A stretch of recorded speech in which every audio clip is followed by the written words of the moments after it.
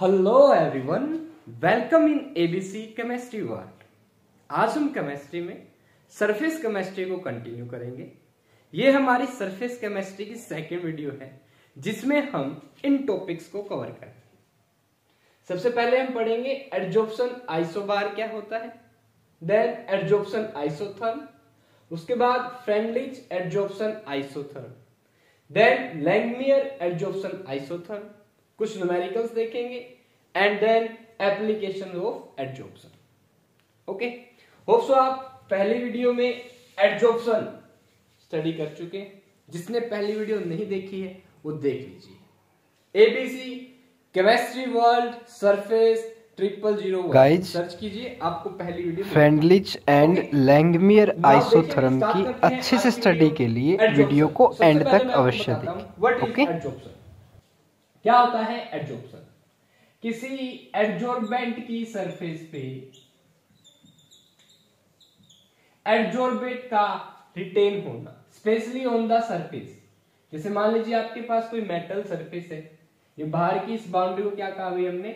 Surface वो boundary जो दो मीडियम को अलग करती है, उसे कहते हैं सरफेस या इंटरफेस अब वो फिनोमिना जिसमें किसी सब्सटेंस की इंटरफेस पे कोई भी पार्टिकल्स गैस कोई सोल्यूट आके एडजॉर्ब हो जाता है रिटेन हो जाता है। इस फिनोमिना को कहते हैं एडजॉर्प्शन ठीक है?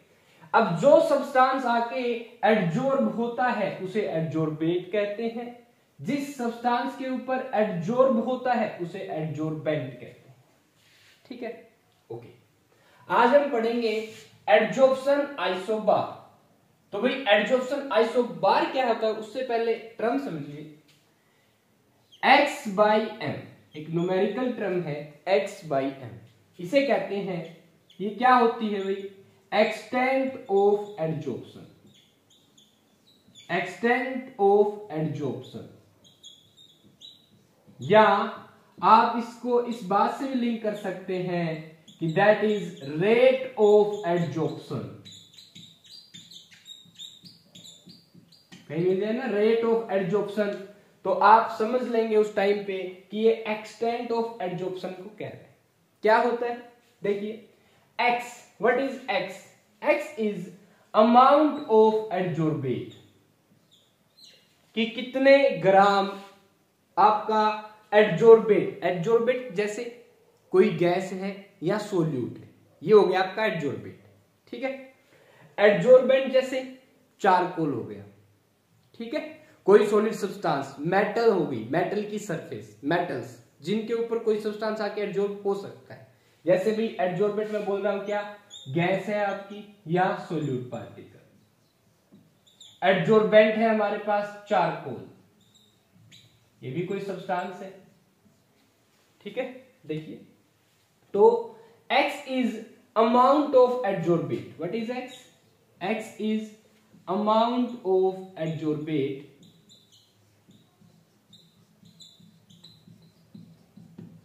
where m is mass of adsorbent देखिए, आपका जो एडजॉर्बेंट है, वो एक सरफेस की फॉर्म में हो सकता है और या पाउडर फॉर्म में भी हो सकता है। स्पेशली जब पाउडर फॉर्म में हो ना एडजोर्बेंट ठीक है? तब हम इसको किसमें डील करते हैं? मास ऑफ़ एडजॉर्बेंट लेके चलते हैं कि एडजोर्बेंट का मास कितना है।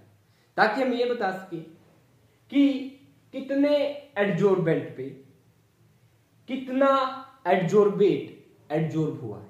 यही होता है आपका एक्सटेंट ऑफ़ एडजॉर्प्शन इस एक्सटेंट ऑफ़ एडजॉर्प्शन टर्म से हम आइसोबार आइसोथर्म पढ़ेंगे।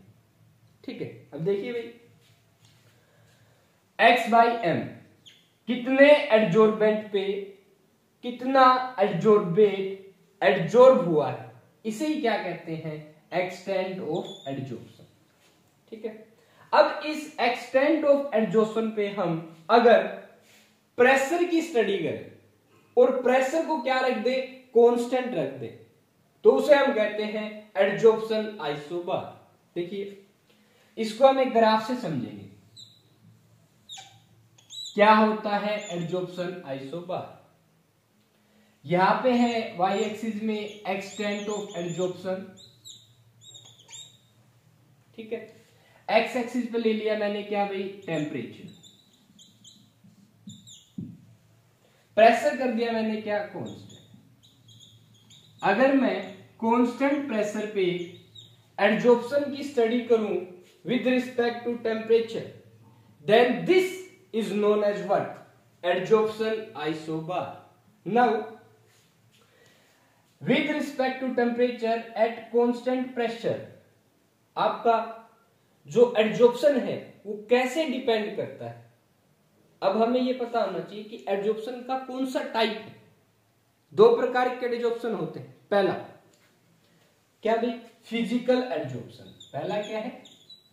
फ़िज़िकल एड्जॉर्प्शन हम सबसे पहले स्टडी करने जा रहे हैं effect of temperature on add physical adsorption at constant pressure ठीक है? देखिए भी क्या होता है? कुछ ऐसी कर मिलती है।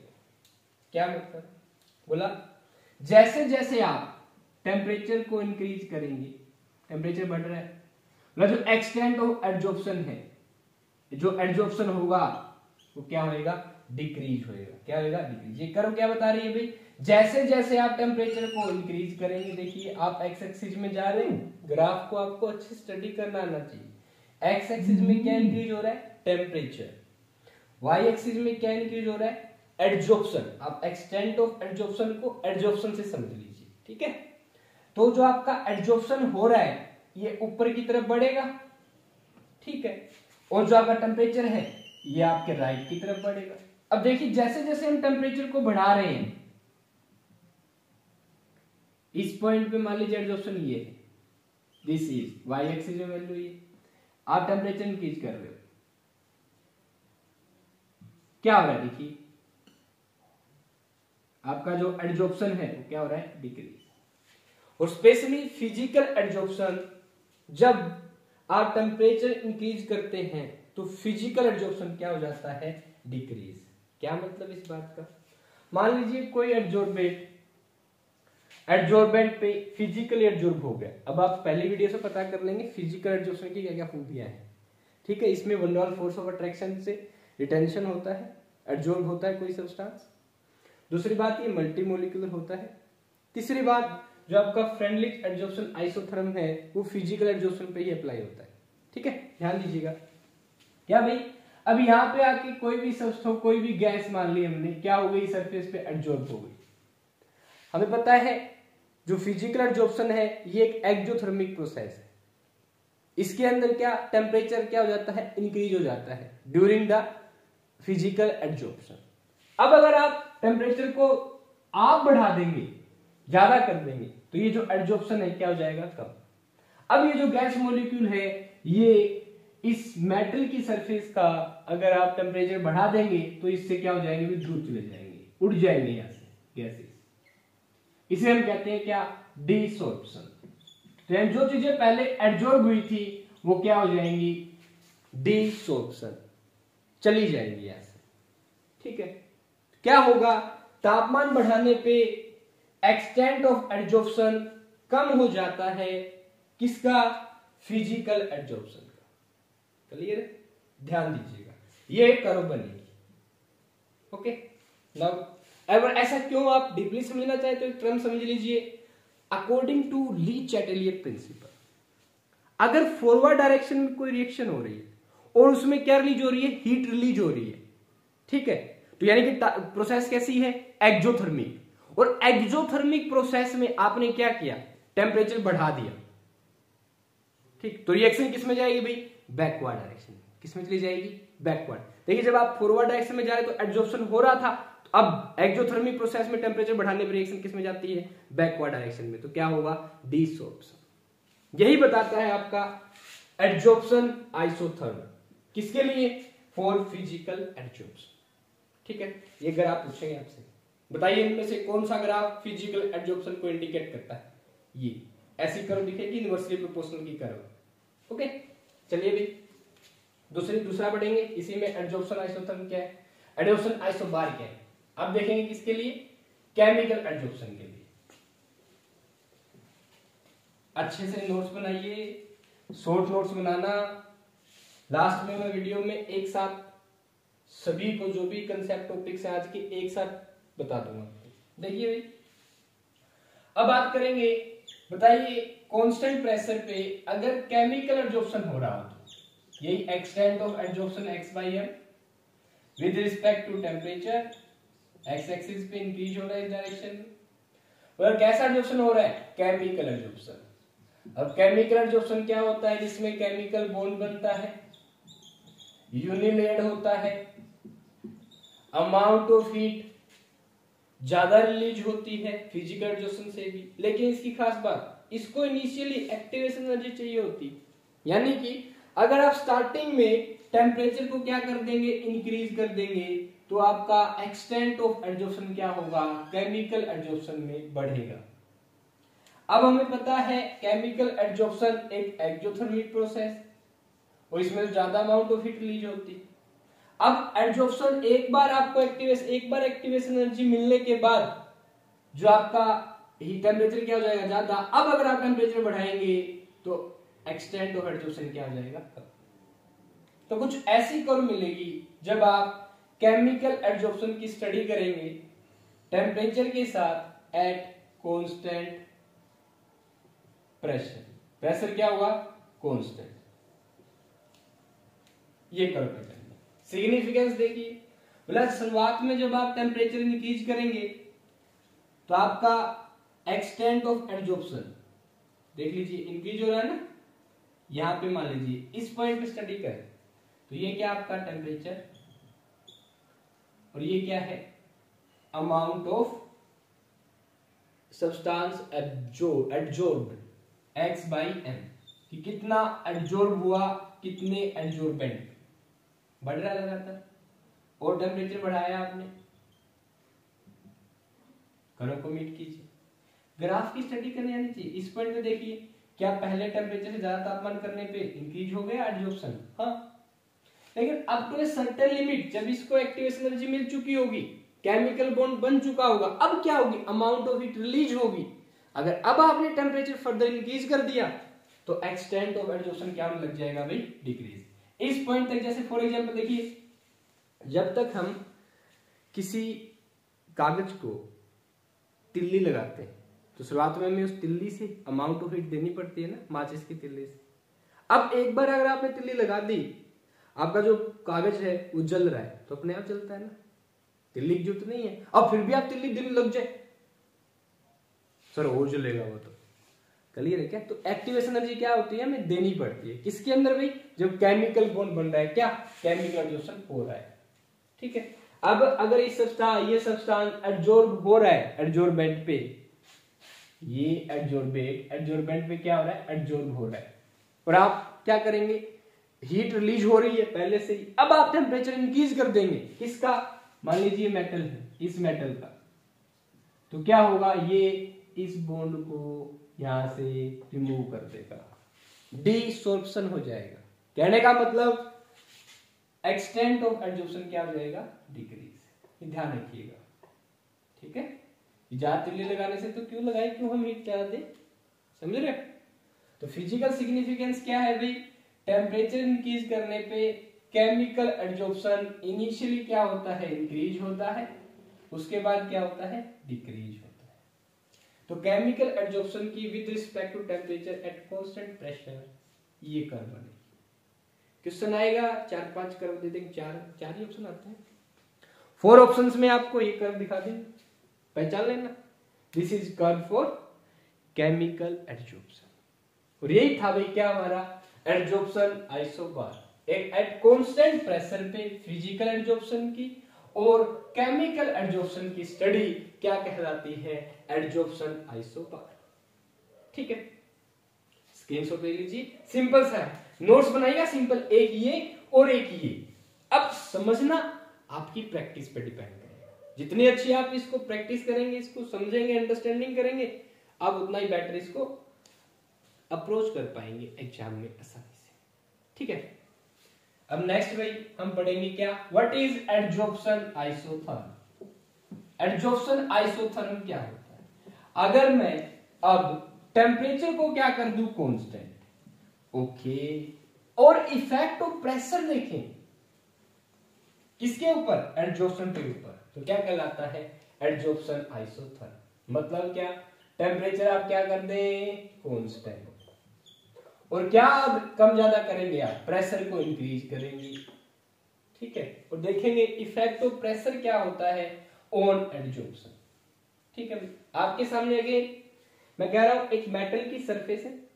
इसके ऊपर कोई गैस आके क्या हो रही है? एडजोर ये आपका एडजोर्बेट ब्लैक से बना रहा हूँ। ये गैस आके क्या हो रही है? एडजोर अगर आप यहाँ पे प्रेशर को क्या कर दे? इंक्रीज कर दे। ये बताना आपको, क्या इफ़ेक्ट पड़ेगा एडजॉर्प्शन ठीक चलिए इसको समझते हैं। अगेन मैं इसके लिए भाई एक ग्राफ बना रहा हूँ। इस ग्राफ से समझेंगे। काफ़ी आसान रहता है ग्राफ से समझेंगे। ये है extent of adsorption with respect to pressure X axis में प्रेशर है वाई एक्सिस में क्या है? एक्सटेंट ऑफ़ एडजॉर्प्शन ठीक फिर से हम स्टडी कर रहे हैं किसकी? फ़िज़िकल एब्जॉर्प्शन की। और ये physical absorption for adsorption isotherm के लिए बताया था फ्रेंडलिज और इसे कहते हैं क्या? Freundlich adsorption isotherm. Specially for physical absorption ठीक है। उन्होंने एक पार्टिकुलर इक्वेशन लिखा कि extent of absorption is equal to होता है रेट कांस्टेंट कांस्टेंट इनटू में प्रेशर की पावर वन बाई एन ये इनकी बेसिक इक्वेशन थी। क्या बताया इन्होंने? बोले, अगर आप प्रेशर के साथ एक्सटेंट ऑफ़ एब्जॉर्प्शन की स्टडी करना चाहते हैं कांस्टेंट प्रेशर की, ठीक है वह कुछ ऐसी कर्व मिलती इनिशियली जो एक्सटेंट ऑफ़ एब्जॉर्प्शन होता है, वो प्रेशर के क्या होता है? डायरेक्टली प्रोपोर्शनल अब जैसे आप फर्दर प्रेशर इंक्रीज करते हैं, देखिए, यहाँ तक क्या है? डायरेक्टली प्रोपोर्शनल कौन एक्सटेंट ऑफ़ एडजॉर्प्शन ठीक। अब फर्दर आप और प्रेशर इंक्रीज करें तो बोला जो एक्सटेंट ऑफ़ एडजॉर्प्शन है, वो पहले डायरेक्टली की बजाय आपका थोड़ा कम होता है। जैसे आप एक पार्टिकुलर लिमिट के बाद प्रेशर इंक्रीज करेंगे तो एक्सटेंट ऑफ़ एब्जॉर्प्शन क्या हो जाएगा? कम हो जाएगा पहले की अपेक्षा। ठीक है? समझिए? अभी इसका सिग्निफिकेंस दूँगा मैं आपको। उसके बाद बोला, आप और प्रेशर इंक्रीज कर दे। यहाँ तक इसके बाद आपने प्रेशर और बढ़ा दिया। तो बोला, फिर क्या हो जाएगा? बोला प्रेशर पे डिपेंड ही नहीं करेगा। ओके यानी कितनी बातें आ गई? मतलब कम प्रेशर बीच का प्रेशर कम प्रेशर ज़्यादा प्रेशर बीच का प्रेशर यानी कि देखिए भाई, ये वाली जो कर्व है, किसके लिए है? फॉर लो प्रेशर मतलब अगर आपका प्रेशर कम है, ठीक है तो ये कर्व क्या है? Extent of adsorption directly proportional है किसके? प्रेशर के। अगर प्रेशर क्या है? लो ठीक प्रेशर क्या है? अगर हाई है, देखिए एक्सटेंट ऑफ़ एड्जॉर्प्शन क्या हो गया? कॉन्स्टेंट मतलब जितना एडजॉर्ब होना था एडजॉर्बेट वो हो चुका है। इससे फालतू एडजॉर्ब नहीं होगा, अगर आप क्या इंक्रीज कर रहे हैं प्रेशर हर करो एक सिग्निफिकेंस रखती है। आपको समझ आना चाहिए। ठीक है? देखिए। तो यहाँ पे amount of adsorbate particular amount of adsorbent पे क्या हो चुकी है? कॉन्स्टेंट यानी कि एट हाई प्रेशर कहा भाई एट हाई प्रेशर अगर प्रेशर क्या हो? ज़्यादा हो तो extent of absorption high pressure पर डिपेंड नहीं कर ये क्या है अभी? ये वाली रेंज दिस इज़ इंटर इन दोनों के बीच का प्रेशर इंटरमीडिएट प्रेशर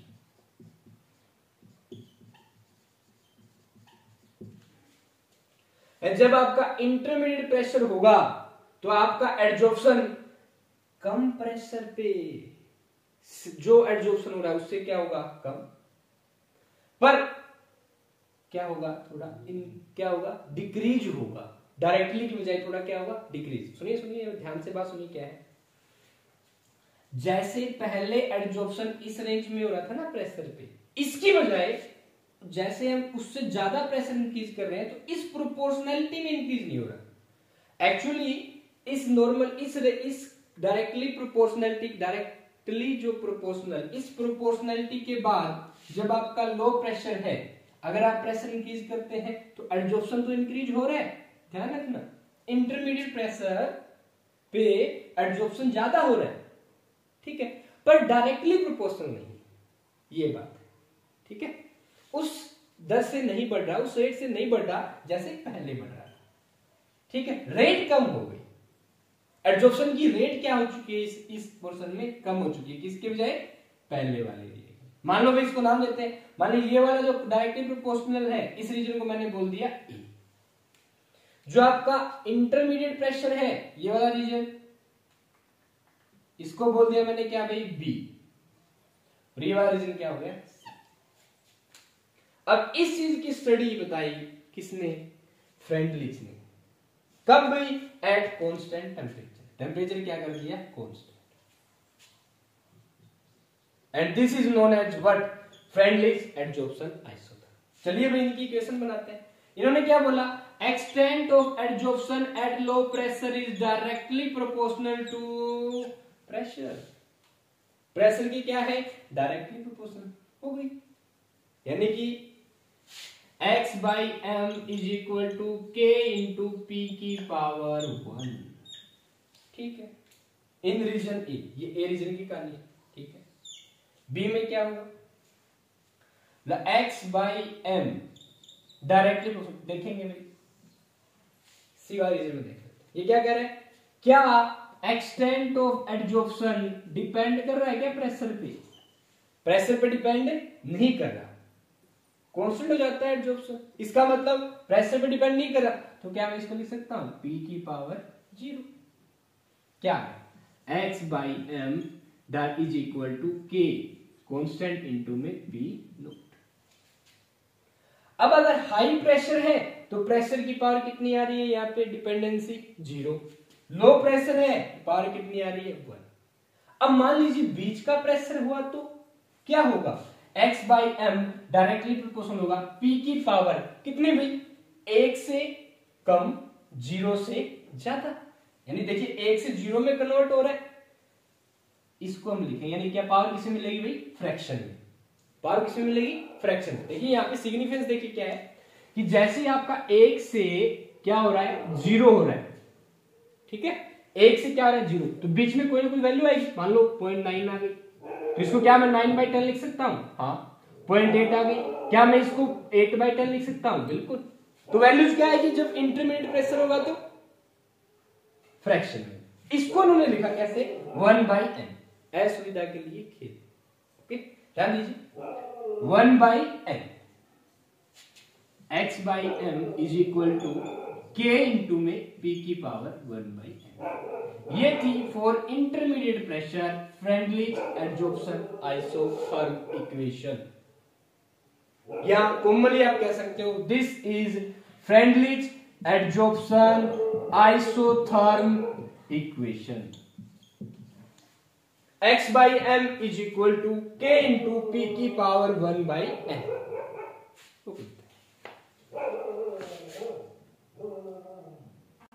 देखिए भाई, आप लोग साथ के साथ इस बात को समझिए। जैसे आप प्रेशर को क्या करेंगे?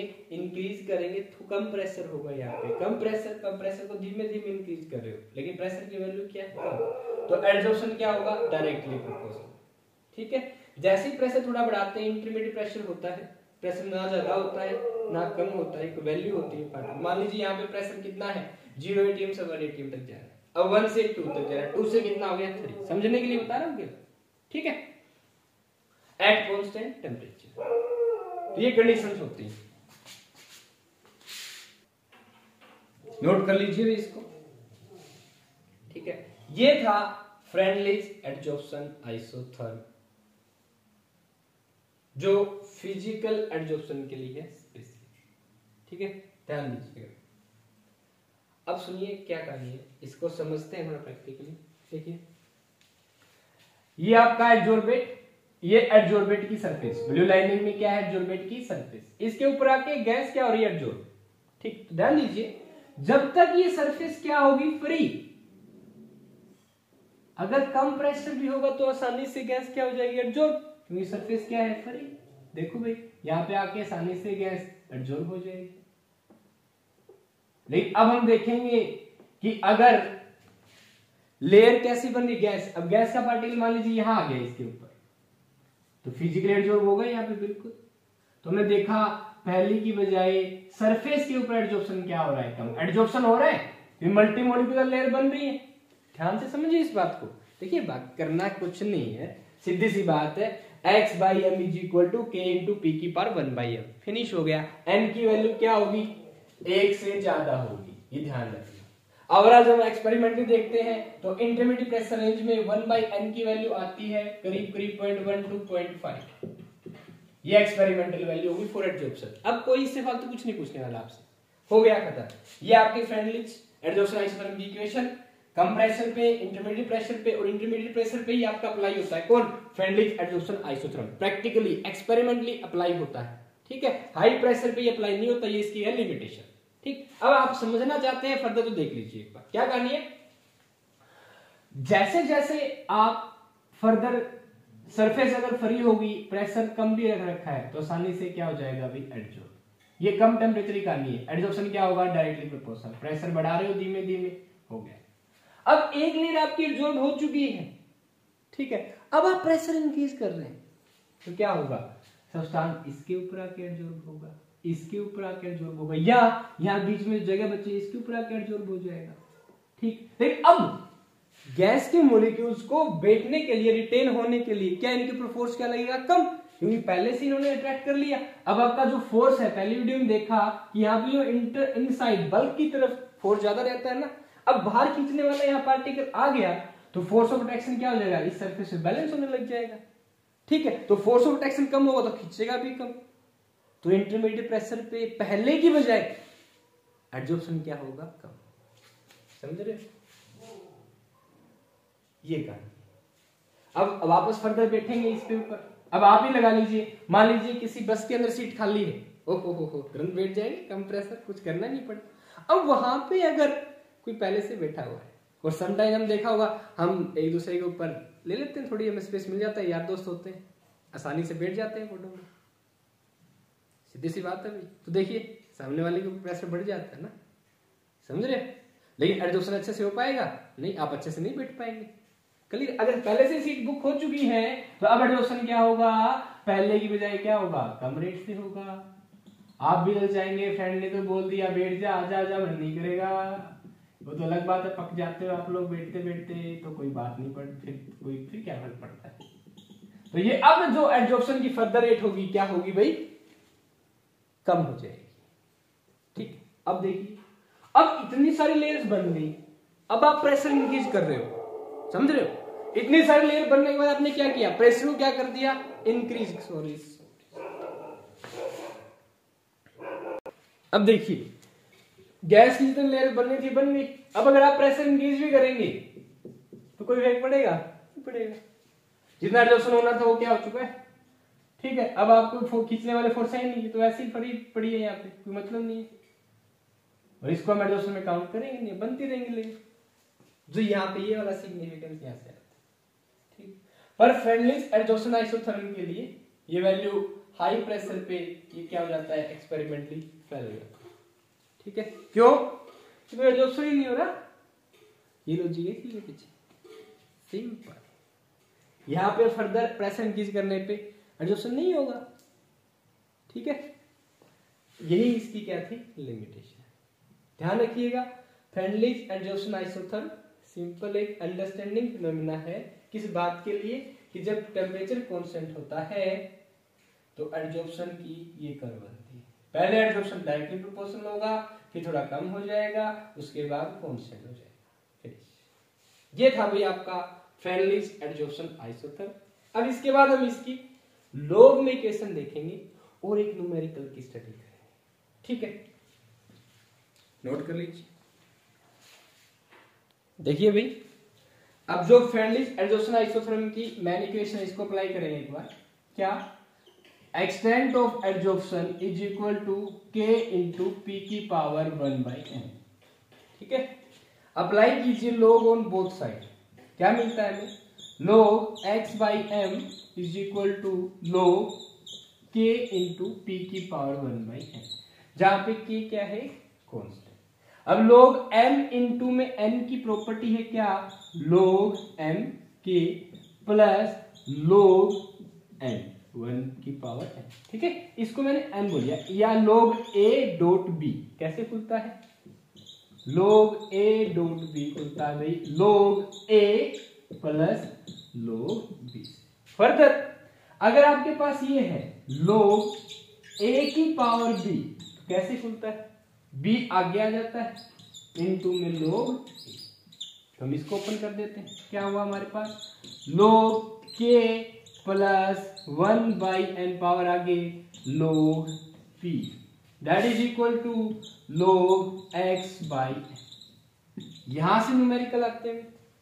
अब क्या करते हैं? एक ग्राफ बना के देते हैं, ऐसे करके। Log x by m y axis पे है। और आपका प्रेशर है, ये एक्स एक्सिस पे और आपको कर्व दे देते हैं। यू क्या? बिल्कुल। This is equation of linear equation एक लीनियर लाइन की जो इक्वेशन होती है ना, वो ऐसी होती है। Y is equal to c plus m x ठीक है? यहाँ पे क्या होता है? जो y है, ये y एक्सिस पे जो पैरामीटर वो लिखते हैं। X एक्सिस पे जो पैरामीटर वो x होता है। M होती है जहाँ पे क्या? भाई स्लोप m क्या होती है? स्लोप और that slope is equal to किसके इक्वल होती है स्लोप टेंजेंट थीटा ये मैथमेटिक्स है आपका। सी क्या है यहाँ पे? इंटरसेप्ट c क्या होता है? ये वाली वैल्यू तो यहाँ पे अगर आपको इस, ये दे दे आपको, ये value that is what log k. That is c. Intercept intercept बोल रहे हैं यही होता है। ठीक है? अब भाई फर्दर स्लोप क्या होती है? बोला, अगर इस एक्सिस के पैरेलल एक्स एक्सिस के पैरेलल में एक लाइन खींच दू जहाँ पे ये कर्व वाई एक्सिस को टच कर रही है तो ये वाली जो लाइन है, इसके साथ एक ढलान बना दी। दिख रही है स्लोप ढलान। इसको हमने इतना ऊँचा उठा दिया। ये वाला जो एंगल होता है क्या होता है? थीटा और टेंजेंट थीटा में हम इसको क्या कहते हैं? Slope m that is equal to what slope tangent theta से निकालते हैं स्लोप ठीक है? बताइए। फ्रेंडलीज एडजॉर्सन आइसोथर्म में, अगर मैं आपको log x बाई एम का ग्राफ दे दूँ किसके साथ? वो भी log p के साथ। किसके साथ भाई? log p log p के साथ। What will be value of slope that will be what बताइए। ये। वन बाई एन क्या हुई slope one by n slope is equal to one by n बस यही आंसर था। और एन आपका डिपेंड करता है एक्सपेरिमेंटली एडजोर्बेट की नेचर एडजोर्बेंट की नेचर। ठीक है? ध्यान वैल्यू जनरली एन की ग्रेटर देन वन होती है। ओवरऑल जब ये वैल्यू आती है वन बाई एन ये आपकी point one two point five आती है। For physical adsorption that is Freundlich adsorption isotherm ये इसकी स्टडी करता है। ये क्वेश्चन पूछ ठीक है? अगला। टेम्परेचर को लेकर कैसा क्वेश्चन पूछता है आई थिंक ये क्लियर हो गया होगा? इसको नोट कर लीजिए स्क्रीनशॉट ले लीजिएगा। देखिए, एक और इस कर्व से लेके कैसे क्वेश्चन पूछते हैं आपसे देखिएगा। ये आपके सामने एक ग्राफ दे देंगे। किसका भाई? एक्सटेंट ऑफ़ एडजॉर्प्शन का। किसके साथ? प्रेशर के साथ। मतलब पहला ग्राफ दे दिया ये। एट टेम्परेचर टी वन अब टेम्परेचर हमें क्या करना है? कौन सा दूसरा ग्राफ ये बना दिया। दूसरी गैस के लिए। अलग अलग गैस का, या अभी हम मैंने मान लो सेम ही गैस ले ली। गैस क्या है? सेम एडजोर्बेट क्या है? सेम पर टेम्परेचर क्या है? अलग अलग। ध्यान दीजिए। During adsorption of this gas ठीक है ना? ये वाली गैस। टेम्परेचर कॉन्स्टेंट रखा कितना? टी वन अब ड्यूरिंग फर्दर अब इस टेम्परेचर को मैंने बढ़ा दिया, पर इस एडजॉर्प्शन फिनोमिना के लिए क्या है? Constant t two further wait क्या गया है टी थ्री यानी अलग अलग टेम्परेचर पे मैंने सेम गैस का एडजॉर्प्शन देखा विद प्रेशर इंक्रीज के साथ। बताइए आपसे क्वेश्चन पूछते हैं। बताइए, इनमें से टेम्परेचर का ऑर्डर क्या होगा? इंक्रीजिंग ऑर्डर पूछ लेंगे टेम्परेचर का या डिक्रीजिंग ऑर्डर यानी कि इनमें से कौन सा टेम्परेचर क्या है ज़्यादा? चलो मान लेते हैं, एक और बना दिया। टी फोर चार ऑप्शन हो गए ये करो, आपके सामने दे देंगे। क्वेश्चन बना दिया? Which of the following temperature is more t one t two t three t four चार ऑप्शन बताइए वीडियो पॉज कीजिए, बताइए। देखिए भाई, मैं तो सीक्वेंस लिख देता हूँ। T four t three t two t one क्या इस ताप ताप टेम्परेचर पे, हमें पता है फ़िज़िकल एब्जॉर्प्शन तापमान बढ़ाने पे क्या होता है? कम। यहाँ पे इतना है एक्सटेंड ऑफ़ एब्जॉर्प्शन अगर यहाँ कौन सा टेम्परेचर तो एक्सटेंड ऑफ़ एब्जॉर्प्शन इतना है भाई, पहले की अपेक्षा ज़्यादा है।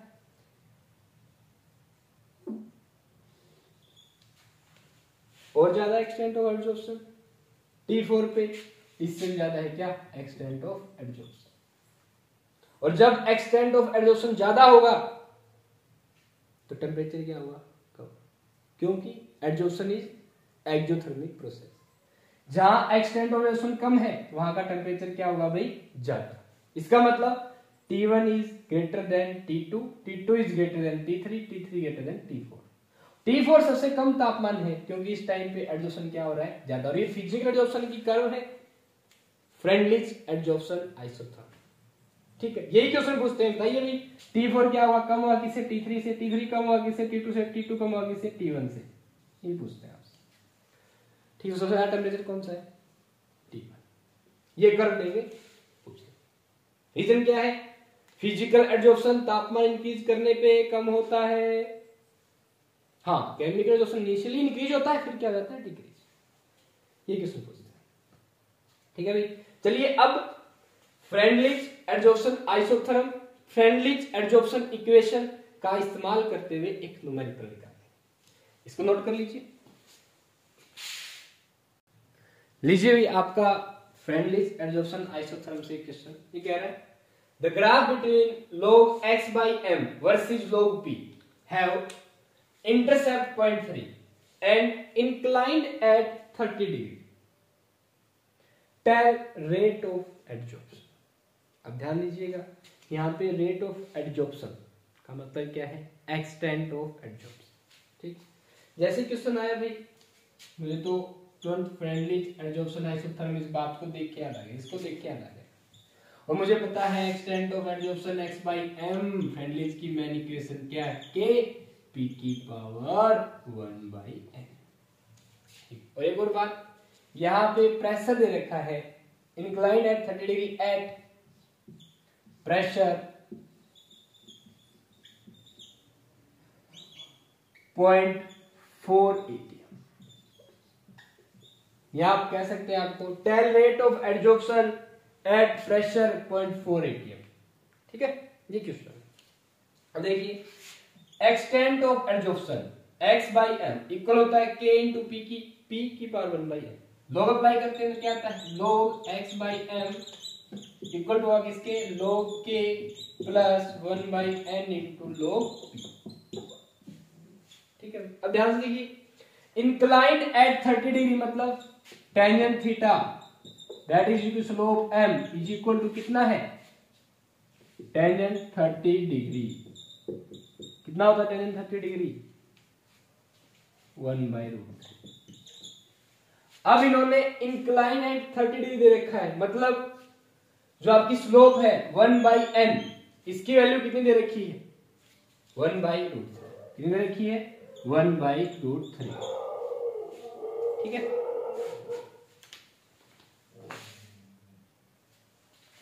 वन बाई रूट थ्री हो गई? मिल गई हमें स्लोप स्लोप कितनी आ गई हमारी? वन बाई रूट थ्री यानी वन बाई एन की वैल्यू कितनी हो गई? वन बाई रूट थ्री ये निकल गया। अगला। इंटरसेप्ट। कितना है इंटरसेप्ट? Point three. ये क्या है? लोग के क्या होता है इंटरसेप्ट। तो लोग के की वैल्यू कितनी आ गई? Point three. अब बताइए, कितना के पॉइंट थ्री के बराबर होता है? हमें पता है लोग जिसका बेस टेन टू हो, किसके बराबर होता है? Point three. Point three zero one zero. Two बताइए के की वैल्यू कितनी आ गई यहाँ से? Point three. ठीक है। हमें हमसे क्या पूछ रखा है? रेट ऑफ़ एडजॉर्प्शन यानी एक्सटेंड ऑफ़ एडजॉर्प्शन क्या होता है? एक्स बाई एम ध्यान दीजिएगा। हम क्या करते हैं? इस इक्वेशन को देख के ना कंफ्यूज होते हैं कि यही इक्वेशन हमें लगानी नहीं, हमें तो एक्स बाई एम निकालना है। तो क्या के मिल गया? हाँ पी मिल गया। हाँ वन बाई एम की वैल्यू मिल गई। हाँ रख दो। कितना?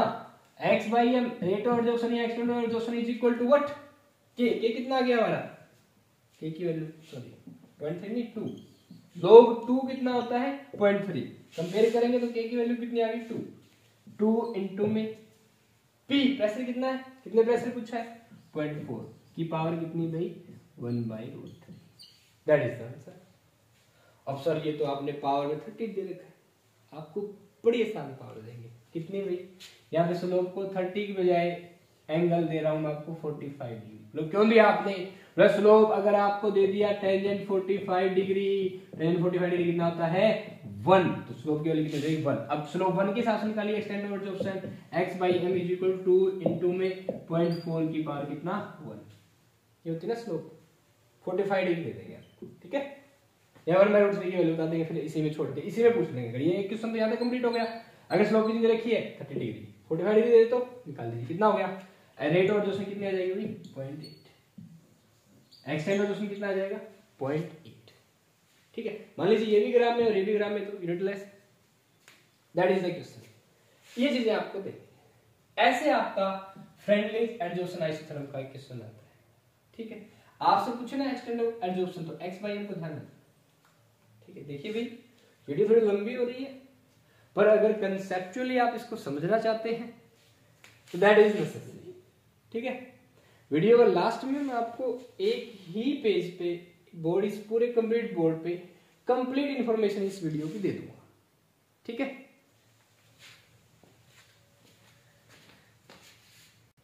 चलिए भाई, अब हम स्टडी करेंगे लैंगमियर एडजॉर्प्शन आइसोथर्म जो आपका फ़िज़िकल एडजॉर्प्शन आइसोथर्म के लिए अप्लाई होता है फ्रेंडलिस एडजॉर्प्शन आइसोथर्म वो लार्ज हाई प्रेशर पे एप्लीकेबल नहीं होता। ठीक है? लैंगमियर ने इस चीज़ को इस लिमिटेशन को दूर किया। इन्होंने बताया कि हाई प्रेशर पे क्या होता है। ठीक है? और स्पेशली लैंगमियर ने जो आपका एडजॉर्प्शन आइसोथर्म है, ये बोथ केमिकल और फ़िज़िकल दोनों एडजॉर्प्शन के लिए बता दिया। ठीक है? क्या था भाई? According to Langmuir extent of adsorption x by m is equal to a p by में वन प्लस बी पी ये इक्वेशन थी इसकी लैंगमियर एडजॉर्प्शन आइसोथर्म इन्होंने जो कांस्टेंट टेम्परेचर पे प्रेशर की इफ़ेक्ट की स्टडी की, ये इक्वेशन ये था आपका लैंगमियर एडजॉर्प्शन आइसोथर्म इक्वेशन ये क्या है? लैंगमियर एडजॉर्प्शन आइसोथर्म इक्वेशन क्या बोले उसने? पहले बात करते हैं। मान लीजिए प्रेशर हाई हो। इसी में हाई प्रेशर किस पे भाई?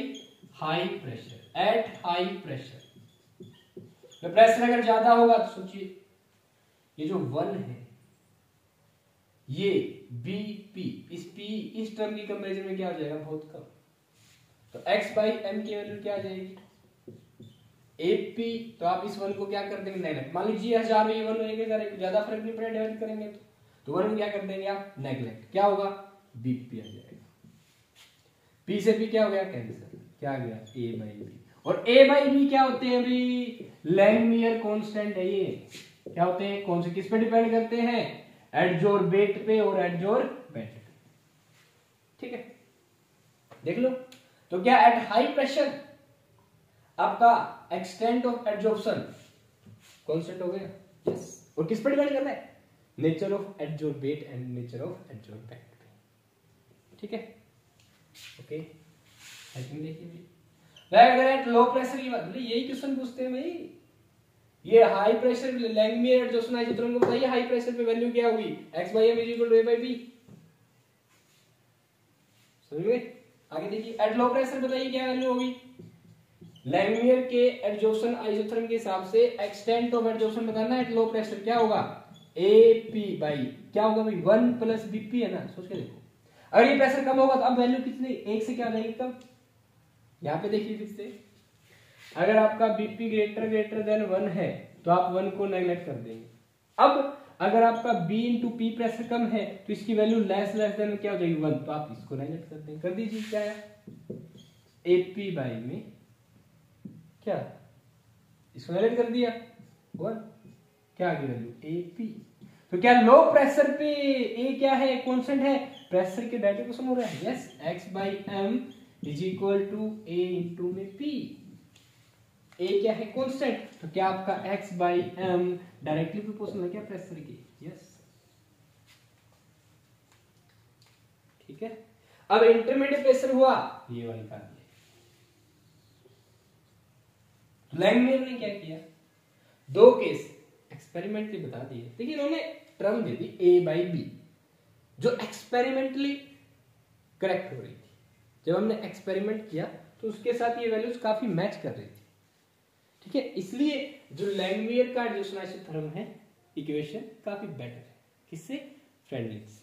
ठीक है, अब ध्यान दीजिए यहाँ पे क्या था। X by m equal to आ गया एपी के कब? At low pressure directly pressure की। एक्सपेरिमेंटली ज़्यादा बेटर है फ्रेंडली से।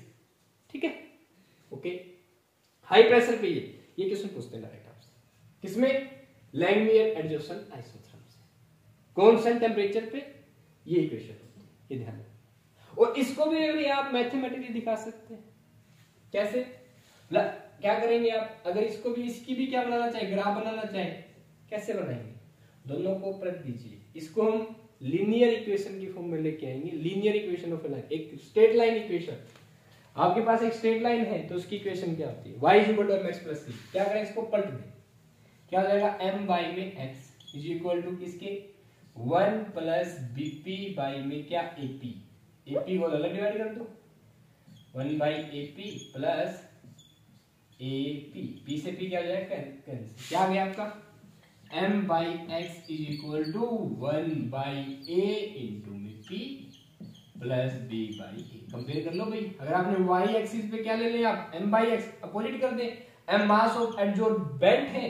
एक्स क्या है? Mass of adsorbent is equal to one by p के साथ एक्स एक्सिस पे क्या बना दीजिए? इक्वेशन क्या एम इंटू में एक्स ये क्या हो गया? सी बन गई इक्वेशन सी ये क्या होगा इंटरसेप्ट वन बाई प्रेशर के साथ। तो अब क्या करेंगे? अगर आप एक ग्राफ बना दे छोटा दिखा रहा हूँ किसके साथ?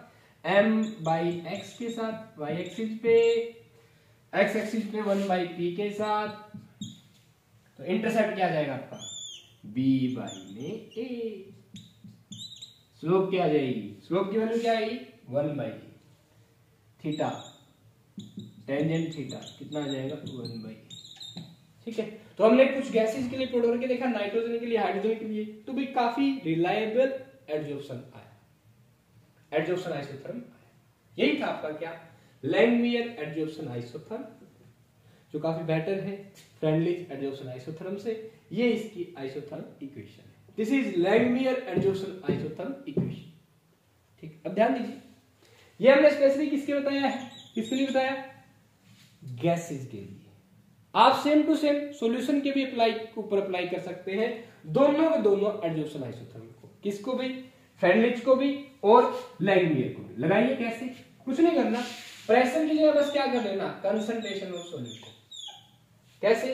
पहले मैं फ्रेंडली एडजोशन आइसोथर्म लगा रहा हूँ। X by m is equal to k into c की पावर क्या कर देना 1 by m ये लगा रहे हैं x by m equal to what a c by में one plus p c c क्या है यहाँ कंसंट्रेशन ऑफ़ सॉल्यूशन और ये दोनों के दोनों एडजॉर्प्शन आइसोथर्म आपके सॉल्यूशन के लिए काफ़ी बेटर होते हैं। तो सॉल्यूशन की बात करें, तब आप क्या ले लेना? कंसंट्रेशन ठीक है? तो ये था भाई effect of pressure on adsorption जो हमने एट कॉन्स्टेंट टेम्परेचर बताया है किसकी हेल्प से? फ्रेंडलिक्स एडजॉर्प्शन आइसोथर्म की हेल्प से एंड लैंगमियर एडजॉर्प्शन आइसोथर्म की हेल्प ठीक है? और हमने न्यूमेरिकल्स भी देख लिए, जो आएँगे। इतना सही पूछेंगे बस। फ्रेंडलिच एडजॉर्प्शन आइसोथर्म से एंड लैंगमियर एडजॉर्प्शन आइसोथर्म से। ठीक है? अभी मैं इस वीडियो में आगे इनको समराइज कर दूँगा उससे पहले हम देख लेते हैं, क्या एप्लीकेशन ऑफ़ एडजॉर्प्शन मस्त रहिए, अच्छे से बनाइए, अभी समराइज कर रहा हूँ इनको। ठीक है? वो वाला स्क्रीन लेना। ये भी साथ में बनाते रहिए। प्रैक्टिस कीजिए। अच्छे से। हाँ भाई, एक सेकेंड एक बात और देख लीजिए। जो आपका x बाई एम है is equal to k into p की पावर वन बाई एन किसके लिए है? गैसेस के लिए। यही Freundlich adsorption isotherm x by m is equal to k into c की पावर वन बाई एन भी हो सकता है। ठीक है? ऐसे ही आपका जो लैंगमियर एडजॉर्प्शन आइसोथर्म है, x by m is equal to a p by one plus b p जहाँ ए और बी क्या है? Constant x by m Langmuir adsorption isotherm के हिसाब से सॉल्यूशन के लिए कैसे लगाएँगे? A into c by one plus b ठीक है? अब ध्यान दीजिए। जब आपने ये निकाला, क्या समझ में आया? क्या लैंगमियर एडजॉर्प्शन आइसोथर्म का फ्रेंडली एडजॉर्प्शन आइसोथर्म एक स्पेशल केस है क्या? Yes case of Freundlich adsorption isotherm यही केस है ना? Freundlich adsorption isotherm low temperature पर हाई प्रेशर पे तो आप लैंगमियर एडजॉर्प्शन आइसोथर्म के साथ हेल्प से इसको फ्रेंडली एडजॉर्प्शन आइसोथर्म को आसानी से बता सकते हैं। जो आपका फ्रेंडली एडजॉर्प्शन आइसोथर्म है, ये केस है किसका? लैंगमियर एडजॉर्प्शन आइसोथर्म इसलिए बेटर है कौन? Langmuir adsorption isotherm equation than isotherm ये ज़्यादा एक्सपेरिमेंटली अप्लाई होती है। ओके अब हम देखेंगे एप्लीकेशन ऑफ़ एडजॉर्प्शन लीजिए भाई ये है आपकी एप्लीकेशन ऑफ़ एडजॉर्प्शन कि एडजॉर्प्शन का कहाँ कहाँ यूज़ होता है। देखिए, पहला इन गैस मास्क क्या जो आजकल भी हम कोरोना टाइम में मास्क लगा रहे हैं। वे गैस मास्क क्या होते हैं? देखिए, मान लीजिए कहीं पे पॉइजनस गैस रिलीज़ हो रही है। ठीक है? तो गैस मास्क में हम क्या रखते हैं? एब्जॉर्बेंट रखते हैं। तो जैसे गैसेज पॉइजनस यहाँ कॉन्टेक्ट में आएँगी मास्क के आगे आएँगी, यहीं पे क्या हो जाएँगी? पॉइजनस गैसेज एडजॉर्ब हो जाएँगी। समझ रहे हो? अंदर नहीं जाएँगी। तो एडजॉर्प्शन एक बेटर एप्लीकेशन है हमारे लिए। कोरोना वायरस आ रहा हो, कोई ऐसा एब्जॉर्बेंट हो तो मास्क में ही हो। कोरोना वायरस नहीं जाए पूरा अंदर चला जाएगा। नहीं, ये एक तीन चार लेयर हो ऐसी। पहली लेयर में रुक जाए बस। सेव हो जाएँगे ठीक है? सेकंड क्या है application in clarification of sugar ठीक है? कई बार शुगर्स में देखिए शुगर बिल्कुल व्हाइट देखी हुई चीनी बिल्कुल व्हाइट होती है। अगर इसमें रंग बिरंगे हो तो रंग हो जाए तो कलर्स हो तो कलर शुगर हो तो। अटपटी सी लगेगी अच्छा नहीं लगेगा चाय बनाते समय क्या करते हैं? शुगर के अंदर क्या करते हैं? चारकोल डाल देते हैं। क्या डाल देते हैं? चारकोल। जो चारकोल होता है, चारकोल। जो कलर्स होता है, उनको क्या कर लेता है? एडजॉर्ब कर लेता है। और शुगर क्या जाती है? क्लैरिफाई साफ़ साफ़ हो जाता है। ठीक है? क्लैरिफिकेशन ऑफ़ शुगर में इस्तेमाल होता है। क्या? एडजॉर्प्शन एप्लीकेशन आप उनको ना एक दो लाइन बना के लिख देना। अगर एप्लीकेशन बताइए ऑफ़ एडजॉर्प्शन आ जाए क्वेश्चन एग्ज़ाम में। और भाई in chromatographic analysis chromatographic analysis एब ब्लॉक के जो एलिमेंट्स है ना, उनको क्रोमेटोग्राफिक टेक्निक से सेपरेट करते हैं ठीक है? तो क्रोमेटो कलर्स को स्पेशली कलर्स को, अगर हमें डिफ्रेंशिएट करना है, या पौधे के अंदर पिगमेंट्स होते हैं, पौधे में, ठीक है प्लास्टिड जो होते हैं आपके क्रोमेटो क्रोमेटिड्स होते हैं प्लास्टिड जो होते हैं, ठीक है ल्यूकोप्लास्ट है ल्यूरोप्लास्ट है क्रोमोप्लास्ट है, इनको क्या करना है सेपरेट करना चाहते हो आप? जेंथोफिल्स कैरोटिनोइड्स है। तो आप क्रोमेटोग्राफिक एनालिसिस जो बेस्ड है ऑन एडजॉर्प्शन क्रोमेटोग्राफिक टेक्निक्स है, जिनकी सहायता से आप डिफरेंट अलग अलग कर सकते हैं। वहाँ पे इस्तेमाल होता है किसका उनका बेसिस ऑफ़ क्या होता है? एडजॉर्प्शन जो जल्दी जल्दी एडजॉर्ब होता जाएगा, वो सब्सटेंस हम अलग करते जाएँगे। ऐसे मान लीजिए आपको गैसेज को सेपरेट करना है तो आप क्रोमेटोग्राफिक देखिए कलर्स के लिए स्पेशली गैसेज के लिए। एडजॉर्प्शन की टेक्निक क्रोमेटोग्राम पे अप्लाई करिए। क्रोमेटोग्राम में क्या होते हैं? यही सिलिका जेल होती है एडजोर्बेंट होते हैं, जिनके ऊपर आसानी से जो सब्सटेंस जो क्या हो जाएँगे? एडजॉर्ब हो जाएँगे। ठीक है? आप आसानी से अलग कर लेंगे। With the help of adsorb in soap नहीं होगा हार्ड वाटर देखिए भाई हार्ड वाटर आपको पता है, अच्छे से कपड़े साफ़ नहीं होंगे। अगर हार्ड वाटर में आप साबुन का इस्तेमाल करते हैं तो। क्या करें? हार्ड वाटर में किसके कारण होता है? कैल्शियम के साल्ट होते हैं क्लोराइड के साल्ट साल्ट होते हैं। ठीक है? जिसके कारण क्या होती है? वाटर में हार्डनेस आ जाती है कैल्शियम और मैग्नीशियम के कारण अब क्या होता है? जो अगर हम स्पेशल एड्जॉर्बेंट इस्तेमाल कर ले, जो कैल्शियम को एब्जॉर्ब कर ले मैग्नीशियम को एब्जॉर्ब कर ले वाटर से तो हार्डनेस चली जाएगी क्लोरीन को एब्जॉर्ब कर ले, जो हार्डनेस का कारण होते हैं। ठीक है तो अब वाटर क्या हो जाएगा? सॉफ्ट हो जाएगा। सॉफ्ट वाटर मतलब? अब ये जल्दी कपड़ों को साफ़ कर देगा। मतलब कहने का मतलब क्या है? अब इस वाटर में कपड़े अच्छे से साफ़ होंगे। ठीक है? और जो साबुन है, वो ज़्यादा वेस्ट नहीं होगी। ध्यान रखिए ठीक है? काफ़ी अच्छी एप्लीकेशन है ऑप्शन किसका मतलब? बहुत बढ़िया। In separation of inert gases वो गैसेस जो आपस में रिएक्ट नहीं कर रही है, उनको आसानी से सेपरेट कर सकते हो। विद एल्कोहल जो हमने पता था पढ़ा था ना? पहले वीडियो में पढ़ा था, क्या? सो नहीं कल कोच को है ही। सो जल्दी कोड जो हो जाती है। SO2 फिर NH3 तो जो जल्दी एडजॉर्ब हो जाएगी, उसको सेपरेट कर लेंगे। उसके बाद दूसरी जो एडजॉर्ब होती है रेट के बेस पे, जो आसानी से एडजॉर्ब हो रही है, जल्दी एडजॉर्ब हो रही है, उसको पहले लगो, पहले सेपरेट कर लेंगे। उसके बाद दूसरी को, उसके बाद तीसरी को। मिक्सचर ऑफ़ गैसेज में आपको दे दूँ तो किसकी हेल्प से आप सेपरेट कर सकते हैं उनको? आसानी से विद हेल्प ऑफ़ एडजॉर्प्शन अलग चारकोल के ऊपर ही। हमने गैसेज को क्या कर लिया? एब्जॉर्ब हो गया। एब्जॉर्ब कर लिया। वो क्या हो जाएँगे? अलग अलग रेट से एब्जॉर्ब होंगी। आप उनको अलग ठीक है? अगले देखिए अभी। फ्लोटेशन प्रोसेस में एब्जॉर्प्शन का इस्तेमाल होता है। हमें पता है जिंक सल्फाइड होते हैं लेड सल्फाइड सल्फाइड और को अलग करने की टेक्निक है कौन? फ्रोथ फ्लोटेशन इसके अंदर क्या करते हैं? जो हमारा और होता है जिसको अलग करना है हमें, उसको क्या करते हैं? ऑयल से सेपरेट कर देते हैं। ऑयल से क्या कर देते हैं? एडजॉर्ब करवाते हैं। ऑयल आसानी से एडजॉर्ब हो जाता है। जैसे लेड सल्फाइड और जिंक सल्फाइड जनरली लेड के और होते हैं। उनको हमें अलग करना उनके फ्रोथ बनाने होते हैं हमें। ठीक है? तो जिंक सल्फाइड के हम, क्या फ्रोथ नहीं बने देते। किसके बना देते हैं फ्रोथ लेड सल्फाइड के पीबीएस के। ठीक है? पीबीएस के फ्रोथ बन जाएँगे। ठीक? उसके ऑयल्स होते हैं आसानी से वो फ्रोथ बना लेता है। और जबकि जिंक सल्फाइड है, वो फ्रोथ नहीं बना पाता है। समझ रहे हो? तो एडजॉर्प्शन के कारण उसके क्या कर दिया हमने? पाइन ओल वगैरह वोटर है, उनके कारण एफिनिटी बढ़ जाती है, जिसके कारण ना, वो फ्रोथ नहीं बना पाता है। कौन? जिंक सल्फाइड कॉम्प्लेक्स बन जाता है। ठीक है? पीबीएस आसानी से फ्रोथ बना लेता है। अलग हो जाता है। On the basis of adsorption ठीक है? चलिए नेक्स्ट वाटर कंजर्वेशन काफ़ी अच्छी टेक्निक है वो दे जहाँ पे गर्म, वो जगह जहाँ गर्म वाटर जल ज़्यादा हॉट है, जहाँ वाटर जो है जल्दी सूख जाता है। क्या करें? वाटर के ऊपर एक स्टीरिक एसिड की परत डाल दें। क्या डाल दें स्टीरिक एसिड डाल दें। स्टीरिक एसिड क्या करेगा? वाटर के ऊपर एक कवरिंग डाल लेगा। ये बना ली वाटर की कवरिंग ब्लू से बनाते हैं। टक टक टक। ये वाटर है, इसके ऊपर स्टीरिक एसिड रेड से हो गया टक टक टक टक टक वाटर के ऊपर कवरिंग डाल अब भाई यहाँ पे आसानी से क्या नहीं होगा? ऑपरेशन नहीं होगा इस लेयर के कारण। वाटर क्या नहीं होगा? ऑपरेट नहीं होगा। कंजर हो जाएगा वाटर डिज़ीज़ ऑब्ज़र्व करने में टैबलेट्स होती हैं। क्या करती है? हमारे शरीर में टैबलेट्स जाएँगी। कुछ टैबलेट ऐसे होती है, क्या? जर्म्स को, ये टैबलेट है। इतनी बड़ी तो कहा, छोटी सी होती है, मान लो। इसके ऊपर जर्म्स को क्या कर लेगी? ऑब्ज़र्व कर लेगी। उनको मार देगी।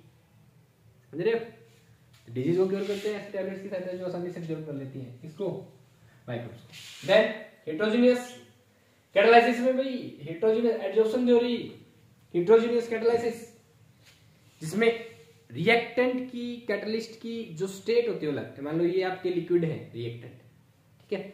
आपका कैटलिस्ट कैसा है? गैसी स्टेट में ये गैसिज है कैटलिस्ट कैसा है? सोलिड स्टेट में इसे क्या कहते हैं? हिट्रोजीनियस कैटालाइसिस जब physical state of reactant and catalyst are क्या हो? डिफरेंट हो। इसे क्या कहते हैं? हिट्रोजीनियस कैटालाइसिस तो हिट्रोजीनियस कैटालाइसिस में क्या होता है? एडिशन थ्योरी अप्लाई होती है। समझ रहे जैसे आपकी जो कॉन्टैक्ट प्रोसेस है स्टोसोफर बनाते हैं। वेनेडियम पेंटाऑक्साइड पेडिनम ऐसे ही आपका आयरन और मोलिब्डेनम इस्तेमाल करते हैं हैपर प्रोसेस में मैन्युफैक्चर ऑफ़ अमोनिया में। वैक्यूम वैक्यूम अब हिमालय जी कई गैसेज को हमें डाला वैक्यूम क्रिएट करना है। कम गैसेज चाहते क्या करें? चार को लगते हैं वहाँ पे, वहाँ गैसेज क्या हो जाएगी? हट जाएँगी। तो आप वैक्यूम क्रिएट कर सकते हैं। Application of what? किसकी एप्लीकेशन है ये? एडजॉर्प्शन की।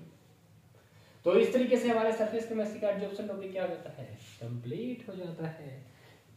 अच्छे से नोट्स बनाइए पेपर में आ जाए तो इस चीज़ को लिख दीजिए, कम से कम पाँच एप्लीकेशन लिख देना, या ऐसे ऐसे करके लिखे एक लाइन लिख के पास आ देना आसानी से नंबर मिल जाएँगे आपको। ठीक है भाई? अब हम क्या करेंगे? फ्रेंडलिच वाले को लैंगमियर वाले को एक साथ लिखेंगे। ठीक है? फाइनल ये हो गया भाई। कहो तो यही ऐड कर दूँ। इसी पेज पे हो जाएगा। कहानी ठीक है, नो भाई देखिए क्या है। हमने लिया, बड़ा शॉर्टकट लेंगे। हम पढ़ रहे हैं क्या? फ्रेंडली एडजॉर्प्शन आइसोथर्म फ़िज़िकल के लिए अप्लाई होता है। Extent of adsorption equal to k into p की power one by n n की वैल्यू ग्रेटर देन वन होगी। वन बाई एन की वैल्यू नियरली पॉइंट वन से पॉइंट फाइव रहती है। ये ध्यान रखिएगा। ठीक है। फ़िज़िकल एडजॉर्प्शन के लिए कर्व बनती है ये। केमिकल एडजॉर्प्शन के लिए कर्व बनती है ये। ये क्या है आपके? एडजॉर्प्शन आइसोबार ये है आइसोथर्म के लिए, ठीक है? ये आपके एडजॉर्प्शन आइसोबार के लिए इक्वेशन है, ठीक है?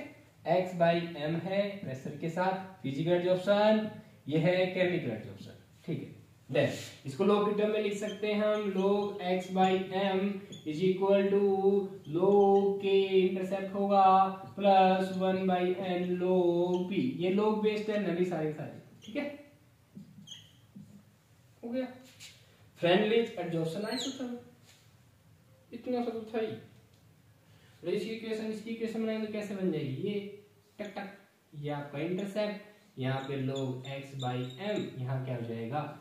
लोग पी फिटनेस हो गया भाई फ्रेंडली एडजॉर्प्शन आइसोथर्म इससे फालतू क्या था। ये फ़िज़िकल एडजॉर्प्शन के लिए अप्लाई होता है। ठीक है हाई प्रेशर पे एप्लीकेबल नहीं होता। इसकी जो कॉमन कर्व है, वो कैसी रहती है? ऐसी रहती है। ठीक है अलग अलग टेम्परेचर में देखें तो आपसे T1 को T2 को T3 को क्या करवा सकता है? कंपेयर करवा सकता है। मान लीजिए मैं इसको T1 दे दूँ, इसको T2 कह दूँ, और इसको क्या करूँ? T3 तो कौन ज़्यादा है?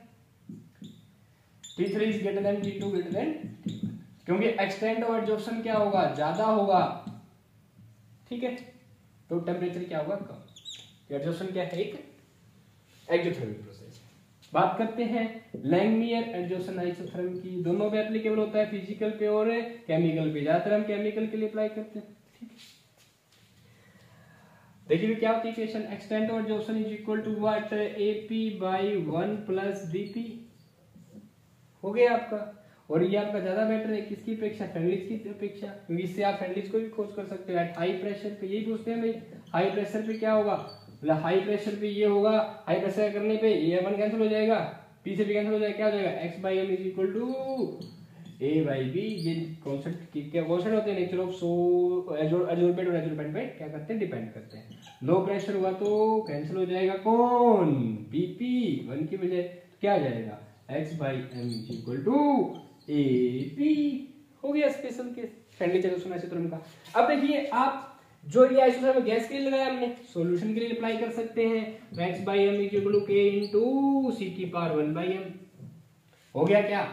सॉल्यूशन के लिए फ्रेंडली एडजॉर्प्शन आइसोथर्म सॉल्यूशन के लिए आप इसको लगाइए। लैंगमियर के x by m is equal to a c by one plus concentration की जगह आपको क्या इस्तेमाल करना है प्रेशर ये ले लेना इक्विवेलेंट ठीक है, ये इक्विवेलेंट का सिंबल होता है थ्री लगाते हैं ना। कि इन दोनों को अगर एक्सप्लेन करना चाहे तो आप क्या करें? कंसंट्रेशन की जगह क्या इस्तेमाल कर ले? प्रेशर तो कंसंट्रेशन में सॉल्यूशन से एडजॉर्प्शन की स्टडी हो जाएगी, और इससे प्रेशर ये रिलायबल है, बिल्कुल। और कंसर्न सॉल्यूशन के लिए तो काफ़ी अच्छे से अप्लाई होता है। कौन? एडजॉर्प्शन ठीक है? ये था अभी। ओवरऑल हमने ये वीडियो में पढ़ा है। ठीक है? ये अगर आपको बातें आती है तो ये वीडियो कंप्लीट हो जाती है। बस इनका सिग्निफिकेंस समझ लीजिएगा। ठीक है? तो all the very very best अच्छे से पढ़िए। अगर आपको इस वीडियो से कुछ जानकारी मिली है तो इस वीडियो को लाइक कीजिए शेयर भी कीजिए चैनल को सब्सक्राइब कीजिए। मस्त रहिए अच्छे से पढ़िए all the very very best जय